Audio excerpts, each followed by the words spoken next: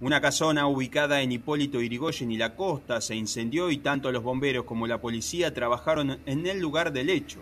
Si bien hay muchas versiones sobre las causas que inició el fuego, se supo que el mismo se incrementó rápidamente por la alta temperatura, la gran cantidad de objetos que se hallaban en su interior y debido a que se trata de una casa con techo de madera típica de las ubicadas en la zona de la Perla.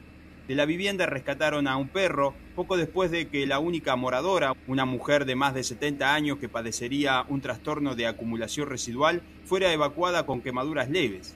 También dos vecinas lindantes debieron ser asistidas por intoxicación por monóxido de carbono.